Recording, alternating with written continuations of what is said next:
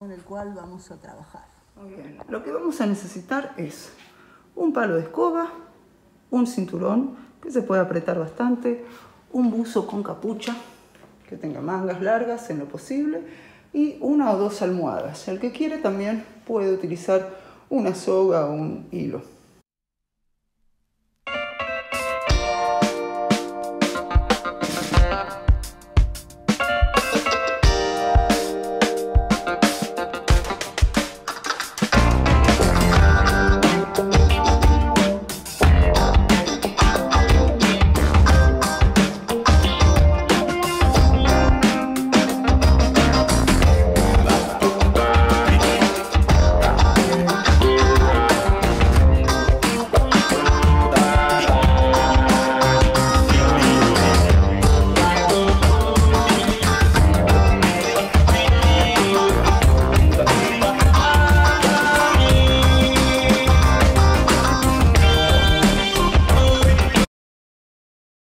Aquí tenemos nuestro muñeco colgado del palo de escoba directamente, si es que tienen dos, eh,